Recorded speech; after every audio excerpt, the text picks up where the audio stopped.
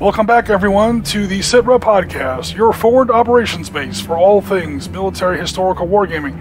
I'm your host, Oriskany Jim, and today we are going back to the Eastern Front in World War II using Mark Ritchie's tactical combat system in 15mm. The campaign that we're featuring today in particular is Operation Barbarossa, the initial Axis invasion into the former Soviet Union right at the outset of the war along the Eastern Front.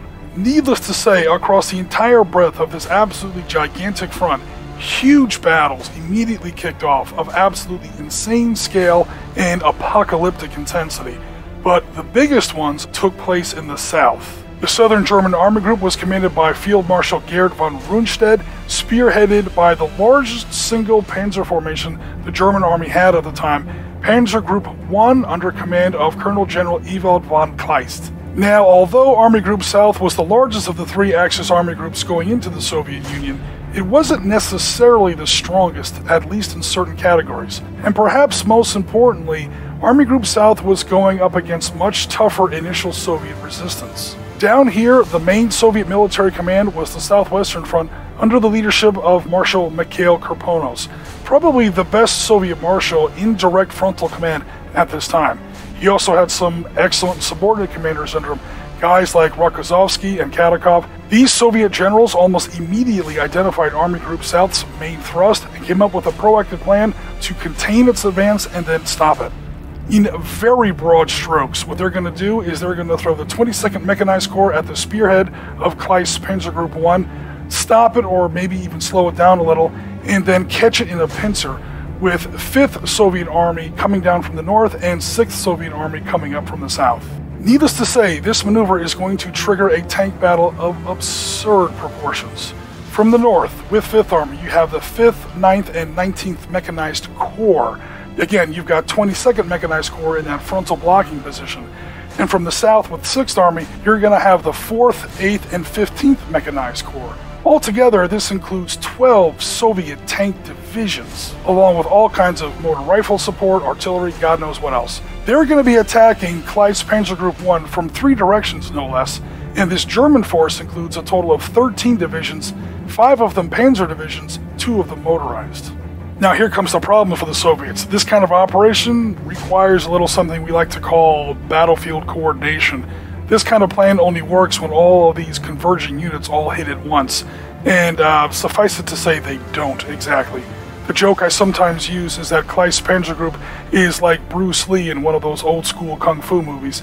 The enemies surround him and then pay him the very polite courtesy of attacking him one at a time. And therefore, Kleist Panzers are able to concentrate and destroy each of these Soviet counterattacks in turn.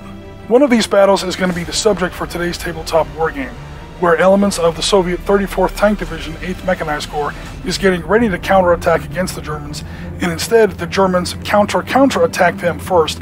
Specifically, this is 15th Panzer Regiment of 11th Panzer Division. Now, when Mark showed me his scenario sheet with what he had planned, I quickly realized why he chose this particular engagement for his tabletop. Soviet 34th Tank Division is one of the very few Soviet tank divisions that fielded large numbers of the T 35 tank. This thing is just a horrible glory. It's it's an atrocious tank. Let's just go ahead and get that out of the way. But it's fun to build, fun to paint, it's fun to put on your table. Good God, what a monstrosity. This thing had five separate turrets two with machine guns, two with 45 millimeter anti-tank guns, and just for fun, they stuck one more on top with a 76 millimeter low velocity howitzer gun. Uh, it weighed 45 tons, which in 1941 is just insane and had a crew of 11. This thing literally has a broadside off the port and starboard beams. You move this thing like a heavy cruiser. I don't know who was drinking what, I don't know who was smoking what, I don't know if someone was dying of the Spanish flu and they created a tank in the midst of their fever dream. I can't account for this monstrosity. Speaking of monstrosity, that's why I'm wearing this Godzilla shirt. It's in honor of our T 35s we're going to have on today's table. They're huge, they're green, they're scary, they're awesome. But if you think about them for more than five consecutive seconds, it doesn't make a lick of sense. Now, I'm playing the Soviets today, and I'm going to have not one, but two of these beasts on the table, along with a whole swarm of T 26s, some small flame throwing tanks, all other kinds of fun, light, small, early war stuff. Uh, I'm going to be up against a pretty nasty German force, though. Let's go to the footage and see if I can pull one out here for Mother Russia. Here is the table for today's game, 8 feet by 6 feet. We are looking generally out of the southwest into the northeast, and my Soviet forces are going to be setting up in a defensive position on the left-hand side of the table. I realize this sounds kind of backwards in the larger context of the Soviet front, the Soviets setting up in the west and the Germans coming at me from the east. But you got to remember, 8th Mechanized Corps and by extension 34th Tank Division was more or less behind the main body of Panzer Group Kleist at the outset of this battle. So here are some of the forces that we have. I've got a very small 76 millimeter gun on the back of a truck. There is one of my absolutely glorious T-35s. Um, man, those things are equal parts atrocious and beautiful at the same time. So yeah, what can I say? I got some Soviet infantry in the back of trucks. You see here where I'm sort of fiddling around with some buildings. I do obviously make a mistake here. I'm going to fix that later on in the game. You'll see that building move back where it's supposed to. Apologies for that. I should also mention that some of these miniatures are mine and some of them are built and painted by Mark Ritchie. And by and large, I'm on defense. I'm holding this village and I'm holding this road and that railroad, and I have to hold it against a German attack coming at me. The German forces include this uh, light observation aircraft. Actually, I think it was a liaison aircraft. It's a Storch. Uh, one of uh, Mark's great miniatures he completed just in time for this game. And now, heading over to the other side of the table, we're looking at some of the German tanks coming at me. There's a plus two commander in what looks like a Mark 3G. Here's one of the earlier uh, Panzerkampfwagen Mark 3s. Uh, I think that's an E variant. There's a G variant with a uh, radio antenna on the back of it, that little frame structure on the back. And of course, some Mark IVs. Uh, those are definitely ominous tanks, especially for my infantry. Note that these are going to be Mark IVs, the earlier Mark IVs, I'm pretty sure offspring E's, with the short L24 75mm assault howitzer. So, like I said, the Germans are coming in from the northeast. I'm trying to hold to the southwest, and hey, let's see what happens. I'll tell you one thing, it certainly doesn't take long for this battle to get started. We see here some of my T-26s, along with my T-35, that big beast in the background, and these really small tanks are tiny little OT-133 flame-throwing tanks. Uh, the lighter green tanks, those are mine, and the ones that are a darker green with some of the camouflage striping, those belong to Mark. I should say that I'm up against uh, Ron and Mark. They are dividing the German force and trying to come at me. They're coming at me in two basic axes right now. Ron's force is coming right down that road, and Mark's force is trying to turn my right wing there along the south. Their objective is to break off along this road. They have to get at least four armored vehicles off my side of the table within 18 inches of that central brown road there. So at the moment, my forces are pretty much divided into two basic order groups. Uh, everything that I already have on the table is in reaction fire. You see all those little purple tokens next to my counters?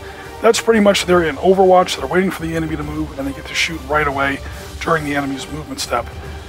Meanwhile, I'm bringing on tons of reinforcements. So apparently, 34th Tank Division uh, is just now getting the word that the Germans are on their way, and they're rushing all kinds of reinforcements to me. Which is a good thing, because the Germans are, man, they're going to hit me pretty hard here. You see where I've gotten a few very lucky hits. At this range, I have to hit with basically a 1, maybe a 2 on a 20-sided dice. Luckily for me, I have actually scored one hit, one penetration. You see one Panzer is already burning there. And I have disabled a second one. I haven't killed him, but he's not getting off the table. So good news for me, he's not going to count towards German victory conditions. Bad news, he's providing fire support. Again, here we see that Storch liaison aircraft what Mark's using it for here is an observation plane to call in all kinds of off-board artillery. Uh, at the moment, I'm not doing so bad. I'm holding. I've got that road more or less choked off. I've got one of my big T-35s. I mean, it's very clear where they are. They're absolutely gigantic tanks. Uh, on either shoulder of the road. Now, there are some special rules in this scenario about how the T-35s work. Because they're so huge, they have five individual independent turrets, it takes multiple hits to actually knock one of these things out. So you see where one gun has been knocked out, that's the red button there, and the yellow button indicates the vehicle's been immobilized. He already has all kinds of problems. The price for defending glorious Mother Russia will be steep and bloody. So we see here two of my T-26 light tanks have now been hit and burning. Not so happy about that. Interesting little tank, the T-26. Uh, surprisingly good for the time with its 45 millimeter gun. Cut its teeth in the Spanish Civil War and Finland. Here at Barbarossa, though, they're not doing so good.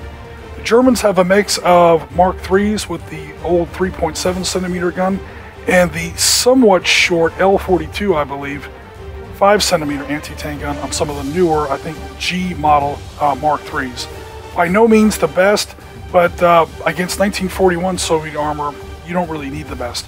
Notice there are no T-34s in my force, there are no KV-1s. Yes, these tanks were operational in Barbarossa 1941, but this early in the campaign, they were very, very rare. On this battlefield, I'm going to have to make do with what I've got. Looking here at some of Mark's little battle group, he is coming at me with some of his lighter armor. The two machine guns on his Panzerkampfwagen Mark I has been firing up some of my infantry. Now the way it works is you kind of target the building when you have infantry in buildings. Uh, it's easy to hit the building, but then you don't get to choose exactly which men you hit. So some of the men in there are leaders or officers, some of them are already wounded, those are the little red counters. So it gets a little randomized after that. Meanwhile, the Mark II is going to fire his 2 centimeter autocannon.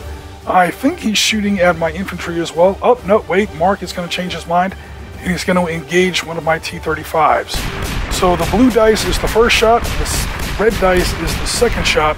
The red dice has a slightly better chance because, again, it's a little bit later. The target is considered acquired.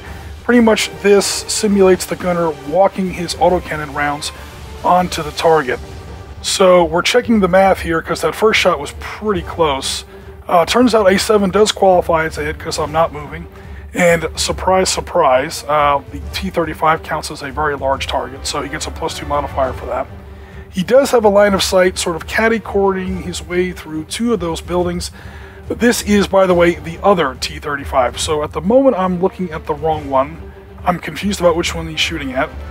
But, oh, well, it was the one he was shooting at, and he has successfully knocked out one of my 45 anti-tank guns. Mark is now angling for another shot with another one of his Mark IIs against my first T-35 there in the center of frame. I won't lie, at this point of the game, I wasn't terribly optimistic about my chances. You see here, obviously, my heaviest units are already taking significant damage, and I have to hold him from breaking, again, at least four armored vehicles off of my edge of the table within 18 inches of that road by the end of turn 12. We're not even through turn 5 yet. So the game's not even half over. He's already crossed more than half the table, and he's got my guys under uh, some pretty devastating fire. So again, it's going to be two shots because the Mark II, the Panzerkampfwagen Mark II, has a 2 centimeter autocannon. The first one is going to be kind of a ranging shot. The second one gets a little bit of a better shot. He uh, is not going to assess the plus two modifier for my very large size because his tank can only see part of mine around the corner of that building. And uh, he has moved, and that's going to assess a negative two penalty on him as well. Nevertheless, um, he's going to go ahead and take his shots. And then once he does, uh, only one of his autocannon shots hit. And then once he does, man, he rolls a 1 for damage, which is the best possible roll. He smokes the tank. Now, the way the T-35s work is basically you have to kill them twice because of their sheer bulk. But one of those kills has now been scored. That tank's in real trouble. I'll say this much, if you're playing the Soviets in 1941 Barbarossa and you don't feel desperate, you're probably not doing it right. So we're now on turn 6, the game is officially half over, and the Germans are more than halfway to their goals. They've now smoked that first T-35 twice. It's now full, complete, official dead, my second T-35 is in hardly any better shape. You see where all the forward guns have been knocked out. So in order to get any kind of firepower applied against the Germans, I have to trundle his fat ass out into the street, turn him sideways. Right after that, that yellow button was then hit and now immobilized. That's fine. Go ahead and wail on him the whole live long day. He is parked right across that road. Good luck getting around that 45 ton roadblock. But again, me, I wasn't kidding in the introduction when I said you have to use that tank almost like a warship. I'm basically presenting a port broadside and trying to fire my aft gun turrets I mean, what game are we playing right now? Is this Barbarossa or Jutland? With the T-35s, you're never really sure. But yeah, a lot more of my Soviet tanks are now on fire. I'm trying to figure out what I'm going to do with my mortar here. Again, you have to use mortars against tanks. You know you're getting desperate.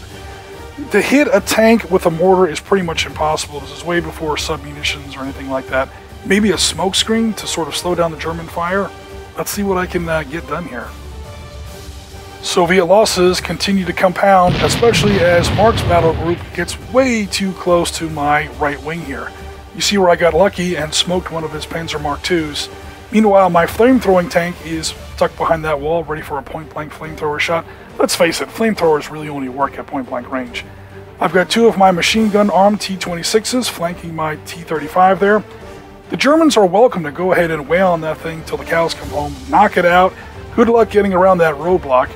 It's kind of a cheesy tactic, but I've got to do everything I can to eat up a clock. At least now, Ron's tanks are going to have to flank around that obstacle in order to get their victory conditions. If it sounds like I'm playing the Soviets very ruthlessly, very callously, well, yeah, I'm playing a Soviet tank division in 1941. Tsar mother. What else am I supposed to do? So we're now, again, uh, entering turn 7. I gotta last until turn 12. Let's see if I can pull it off. We're on turn 10. We're really getting close here. Unfortunately for my Soviet forces, I'm pretty sure the Germans have inflicted enough damage on me to where I don't really have a whole heck of a lot left with which to stop them or even slow them down. You see where I'm dividing this smoke marker here to indicate that, yep, there it goes. My last T-26 has now been smoked. I have a flame-throwing tank left that has shot a jet of fire into my cornfield there, hit that German half-track. Somehow I killed everyone in the vehicle except the driver. So now there's probably a crazed German driver running that burning clown car through my crops. Much more dangerous, however, is Ron's battle group over here on my left.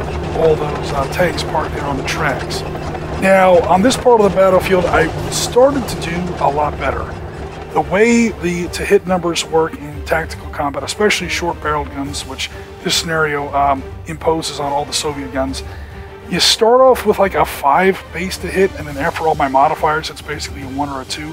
But very quickly that climbs to a 12. Pretty soon I was scoring pretty good hits. Then my dice went cold here in the last turn or two, and even with my much better uh, chances to hit, I, I'm not doing so well. So he's very close to the edge of the table now. Again, he's got to break off anywhere within 18 inches of that uh, central road.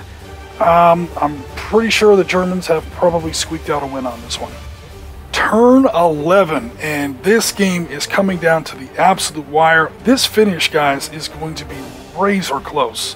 So let's go through everything very carefully and discuss what happens. My flame-throwing tank gets a very lucky hit, finishes off that half-track. My tankette collides with the German command tank. Who cares? That doesn't matter. Just having fun. That half-track is probably going to make it off the table. He does count as an armored vehicle. So, of course, does that Mark III and that Mark IV and the other Mark III further back on the railroad tracks. The German victory conditions require them to get four armored vehicles, not necessarily tanks, four armored vehicles off my end of the table within 18 inches of that central road there. So, yeah, this is going to get very, very close. My one real hope here is that some of my last remaining T-26s, yes, I misspoke earlier, though I do have some T-26s left on the table, they just weren't on that part of the battlefield. So you see here where I'm putting them in react fire. Again, my only real hope here is that as the Germans make that last rush and break off the end of the table, they're going to cross some open killing ground. I might be able to get some reaction fire into their flank armor and maybe knock out one or two. Um, it's it's going to be very, very close. I'm going to have to score a lot of hits here and either get immobilizations or outright kills.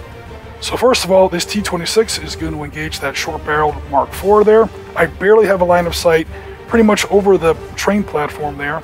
8, that is a hit. Once again, we're very close range, so my chances to hit have gone way up. 13, that indicates a hit on the hull armor. Unfortunately, his hull armor is E, and my tank gun, my 45mm anti-tank gun, only has D penetration. So I have a chance, but oof, not with that roll. Low rolls are good at this game.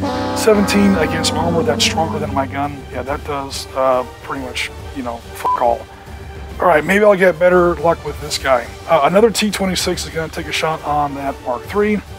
Um, three, that's definitely another hit. Very good. Let's see where it hits on the enemy vehicle. Another 13, again, that indicates a hull hit. The good news is that the Mark III has armor of C, and again, I'm shooting with D. So now my gun is stronger than the um, enemy's armor. Let's see. Oh god, with a 1 no matter what. Okay, so that Mark III is smoked. The irony here is that it doesn't matter, because he wasn't breaking up the table he was too far away. So it feels good to kill a German tank, but in victory conditions, it doesn't matter. Meanwhile, this other T-26 is going to turn his turret and draw a bead on that half-track before he makes it off the table. So we're calculating the chances to hit, and we're going to very quickly um, re-verify the range because it's right near one of the brackets. Okay, so I'm definitely over 25 centimeters there. It also looks like I'm kind of shooting through my own wagon unit there. I apologize for that. What's really happening here is, again, you see that purple react marker. I'm going to shoot as the half track is moving. So as the half track heads off the edge of the table, I'm going to take a shot at him there. You probably should have filmed it a little bit different. It doesn't matter because I missed anyway. All right, so that half track is free and clear. There's nothing else I have that is going to be able to stop him. Meanwhile, that Mark IV is going to take a shot at my flank. Believe it or not, he actually misses. Not that it really matters. All right, so again, that half track definitely makes it. Next, we're going to see if that Mark 1 command tank makes it off the table. This is a very, very close measurement. We got to be really careful here. Because again, not only does he have to make it off the table this turn, but he's going to have to make it off the table within 18 inches of the center of that road. So uh, we measured a couple times, we make extra sure, and believe it or not, yeah, he is going to make it. So again, it's not German tanks, it's German armored vehicles. Four German armored vehicles got to make it off that road. Meanwhile, I'm checking my other tanks. I got nothing else I can contest Mark's move here against my right flank on the southern end of the table. Yeah, that half track and that uh, Befehlswagen, uh, Panzerwagen is going to make it off. So it comes down to whether or not Ron here can get his stuff off the table. That lead Mark uh, 3 tank with the red button on his nose, he's damaged, he has no main gun. It doesn't matter if the tank is damaged or not he's got, you know, he's an operational Panzer. He makes it off the table with no problem. It's just whether or not that follow-on tank makes it off the table. And after several pretty close measurements and re-verifications, again, especially since he has to angle to the south to get within 18 inches of that central road you see there, he is going to not make it by like half an inch or like an, an, an inch. It's going to come down very, very close. So there's three German tanks off the table, one of them damaged, although that doesn't really matter. That other Mark IV that shot at my T-26, if he had not shot, uh, he still wouldn't have been able to make it. So we try a couple different ways to see if we can get this game into a draw. Uh, you see there where Ron's tank barely is hanging on there to the railroad track. And um, yeah, believe it or not, the Soviets walk away with a win on this one. Um, I successfully ran out the clock and just barely managed to uh, prevent German victory conditions. Soviet casualties are irrelevant. Yeah, man, we're the Soviet Union in 1941. Of course, are irrelevant. So hey, Za Rodinu, we actually walked away with a win on this. Well, glorious comrades, they don't come much closer than that. I swear, I think that game came down to about half an inch, especially over where Ron's breakthrough tanks were almost off the table by those railroad tracks. But one thing that I definitely noticed about this scenario, and I really appreciated, was how Soviet tank guns started off so ineffective at longer ranges and yet became much more deadly the closer the Germans got. At those initial engagement ranges, I think I had to roll like a 1 or a 2 on a 20 sided dice, but then when the Germans began to close the range, Soviet tank guns became a lot more deadly. This is a story that you're going to see repeated over and over and over again throughout the entire history of the Eastern Front. And even nowadays in modern combat, if you're playing the Germans, the Americans, the British in Europe against any kind of Soviet equipped force, if you're playing the Israelis against the Soviet equipped, say, Egyptian or Syrian army during the Arab Israeli conflicts, man, engage them at a distance because once the Soviets get within a certain range, their guns hit just as hard as yours, and then their numbers really start to stack up. That's going to wrap us up today for another episode of the SITREP Podcast. Please remember to like, comment, and subscribe if you enjoyed this content. Please remember to hit that notification bell. And also, consider joining our Discord. There is an auto accept invitation to our Discord in the description of this video. So come by, see what the rest of the community is doing, and hey, show us what you're up to on the table as well. Meanwhile, this is Oriskany Jim with the SITREP Podcast. We are rounds complete for another episode, and as always, Tango Mike for watching.